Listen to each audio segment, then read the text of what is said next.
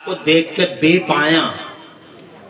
खुशी हो रही है कि इस पीरियड में मैंने कई अजीम शान कॉन्फ्रेंसों में शिरकत की है, मगर ये कॉन्फ्रेंस अपनी नौीयत की मुनफरद और यकताए रोज़गार कॉन्फ्रेंस है।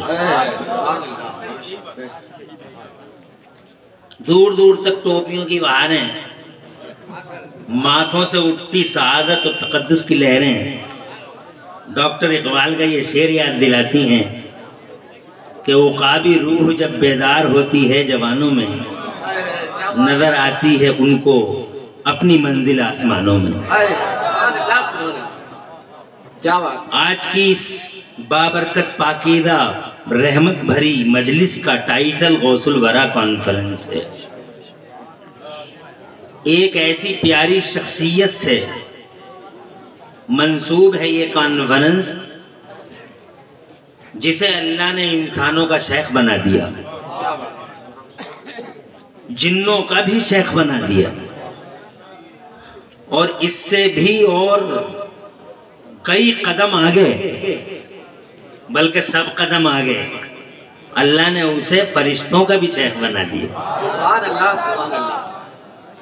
गौसे आदम मीर मीरा पीर पीरा शाह जीला गौसे समदानी महबूब सुबहानी शहबाज लामकानी, सरकार मोहुद्दीन शेख अब्दुल कादिर जीलानी, बड़े पीर, रोशन ज़मीन रबी अल्लाह का तस्कर खैर करने के लिए आज हम गुलामान गौसे आदम इस पाकिदा मजलिस में मौजूद हैं। कोई बड़ा एहसान नहीं करेंगे बल्कि उनका ज़िक्र करके हम अपने दिनों को रोशनी देंगे। उनका ज़िक्र करना हम सबके लिए मेराज की बात है। मगर मैं मुख्तसर वक़्त लेकर कुर्सी खिताबत पे हूँ इसलिए जनाब वाला मैं बहुत ज़्यादा तवील गुफ्तु नहीं कर पाऊँगा और सरकार वाला की दाते वाला सतूदा सिफात अल्हम्दुलिल्लाह ऐसी खूबियों और ऐसी खासियतों की मालिक है कि उनकी ज़िंदगी से लाखों करोड़ों ब्रांचें और उनकी लाइफ में न जाने कितने सेक्टर और सेक्शन नज़र आते हैं कि हर सेक्टर हर सेक्शन पे अगर गुफ्तगु की जाए तो मेरी उम्र ख़त्म हो जाए मेरे गोश्त की बात ख़त्म ना हो। अल्लाह अल्लाह क्या बात? अल्लाह ने उन्हें बनाया ही ऐसे रुतबों वाला है। अब ये तो मैं बाद में बताऊँगा कि ये खासा उन्हें कैसे मिला। मगर उससे पहले तमहीदन आपसे ये अर्ज़ करना चाहता हूँ कि अल्लाह ने दावत तबलीग का जो फरीदा सपर्द फरमाया, वो पहले नबियों को अता फरमाया।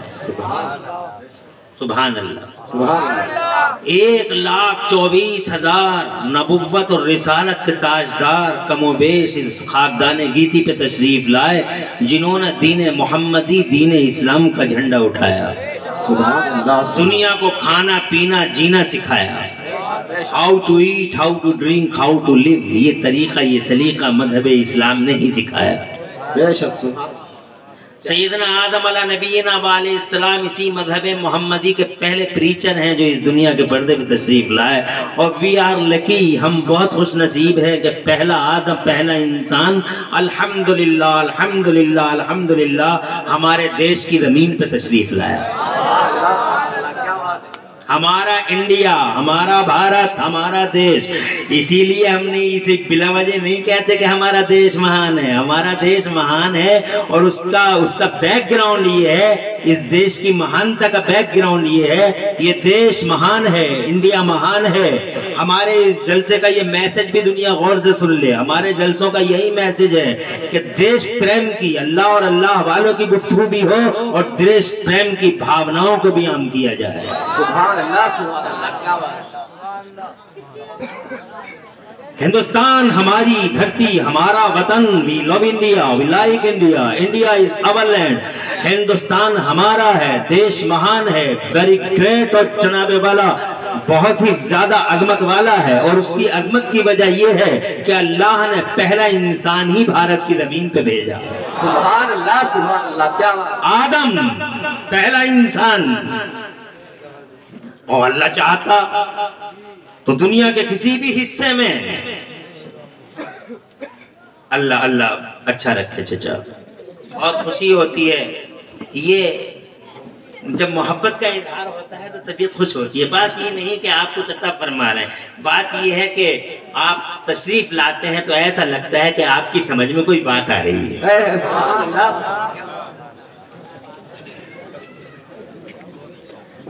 अल्लाह कबूल फरमाए।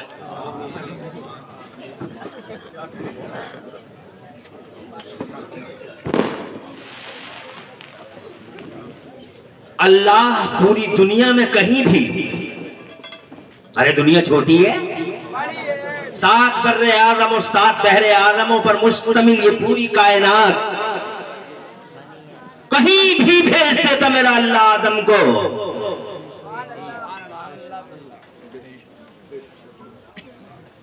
वो जहाँ अमेरिका बसा वहाँ भी जा सकते थे। वो जहाँ अफ्रीका है वो जो ऑस्ट्रेलिया कहलाता है वो जो यूरोप है सारी दुनिया में कहीं भी। मगर अल्लाह का प्यार अल्लाह की मोहब्बत हमारे देश से। इस इंडिया से। कि अल्लाह ने पहला इंसान कुदरत का पहला अदीम शान शाहकार इस दुनिया के पर्दे पर कहीं भेजा तो भारत की ज़मीन पे भेजा। है ना ये देश महान? पहला इंसान देश में। और यूँ भी कह लो कि पहला मुसलमान देश में। और फिर यूँ भी कह लो कि जिब्राइल ने पहली बार अजान पढ़ी देश में पहली बार। वाह। ये एक मौजू तवील है मगर मेरा ये पॉइंट नहीं है। सैदना आदम नबीना सलाम तशरीफ़ लाए इस्लाम के पहले प्रीचर और मुबल्लिग इस्लाम बनकर और मुस्तफ़ा के वाकई नकीब बनकर। बेशक। सिलसिला शुरू हो गया आदम मला नबीना सलाम के बाद फिर नबियों के आने का सिलसिला दुनिया में खितों में, इलाकों में, कौमों में कम्युनिटीज में नेशंस में, गलियों में, गलियारों में, महदूद खितों में, जनाब वाला कोई किसी की रियासत, कोई कहीं का ताजदार, कोई कहीं का ताजदार, कोई कहीं का ताजदार, सब राजा किंग बन के जमाने में, आदम से लेकर ईसा तक एक एक किंग और बादशाह बन के जमाने के पर्दे पे ज़ाहिर हुआ। बेशक बेशक। जनता को सिखाता रहा। खाना कैसे है, पीना कैसे है, जीना कैसे है? मगर उनके इख्तियारात लिमिटेड थे। है? तरक्तियों का सिलसिला रोक लिया गया था। अभी इनकलाब आना बाकी था, हंगामा उठना बाकी था। क्या बात है, वाह। क्रांति की लहरें जो फूटने वाली थी, उन्हें रोक लिया गया था। इसलिए कि अल्लाह की मशीयत ये थी कि क्रांति की लहरें तब उठेंगी जब खाक दाने गीती पे मेरा आखिरी महबूब, मेरा मोहम्मद तशरीफ़ लाएगा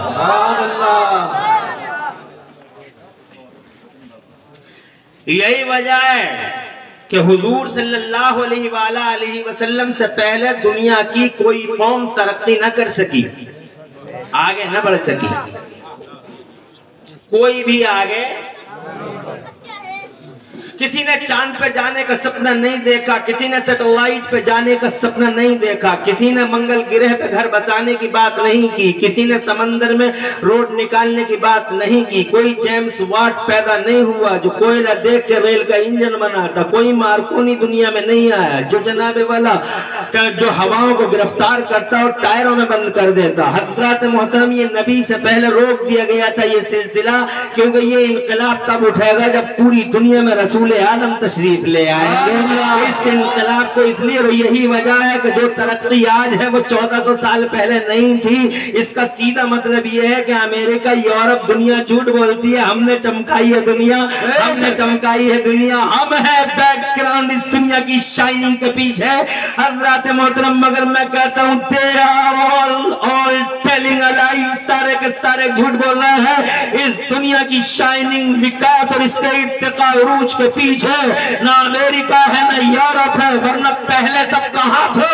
चौदह सौ साल पहले दुनिया में कोई इनकलाब सामने नहीं आया न सनती इनकलाब न माली इनकलाब न फाइनेंशियल क्रांति न जनाबे वाला इल्मी इनकलाब न साइंटिफिक एज आया।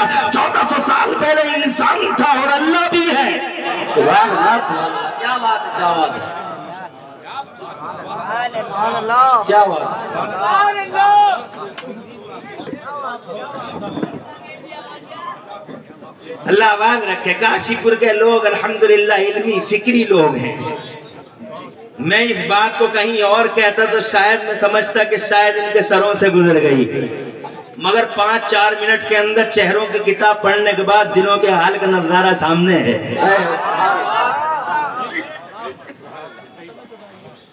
खुदा आबाद रखे आपके इस जौक को। और सलामत रखे इस मज़ाक तभी को। माशाल्लाह। और मैंने भी क्या खूब जनाबे वाला इस मौजू को आपके सामने पेश कर दिया। 400 पेज की एक बड़ी मोटी सी किताब है और दो मिनट में पढ़ के सुना दी सुभान अल्लाह क्या बात है चौदह सौ साल पहले दुनिया में कहीं तुमने नहीं सुना होगा कि किसी ने कोई माइक बना दिया था, किसी ने कोई बिजली बना दी थी, किसी ने कोई जनाबे वाला तरक्की की बात कर ली थी। चौदह सौ साल पहले कहीं कोई इनकलाब नहीं उठा था। क्या बात? हालाँकि उनकी एज तुमसे ज़्यादा ज़्यादा होती थी उनके कद तुमसे बड़े बड़े होते थे। तुम पाँच पॉइंट पाँच के हो पाँच पॉइंट छह के हो और फाइव पॉइंट सेवन के हो। बहुत अगर फाइव पॉइंट एट के हो मगर वो बारह बारह फिट के होते होते बारह बारह फिट के होते थे। छतों पे यूँ ही हाथ रख देते आज होते तुम्हारी छतों पे तो सीढ़ियों की ज़रूरत नहीं पड़ती। मगर सारी ज़िंदगी गधों पे ही घूमते गुजर गई। और ये पाँच फिट का प्लान चलाता है। बारह फिट का कंधे पे ही बैठा रह गया। और ये पाँच फिट का ट्रेन चलाता है, पाँच फिट का प्लेन चलाता है, पाँच फिट का समंदर में रोड बनाता है, सैटेलाइट में जाके बैठ जाता है छह छह महीने ऊपर रह जाता है जनाब मंगल ग्रह पे घर बनाने के सपने देखता है, अमेरिका में बैठ के चाँद को प्लाटिंग शुरू कर देता है, प्लाट बुक करता है बाकायदा, पाँच फिट का आदमी कहाँ से कहाँ पहुँच रहा है, दुनिया को मुट्ठी में किए हुए है पाँच फिट का, बारह फिट का कुछ नहीं कर सका, चौदह फिट का कुछ नहीं कर सका, वजह यह थी कि अल्लाह ने ये इनकलाब बारह रबी अव्वल के लिए रोक रखा था। सुभान अल्लाह सुभान अल्लाह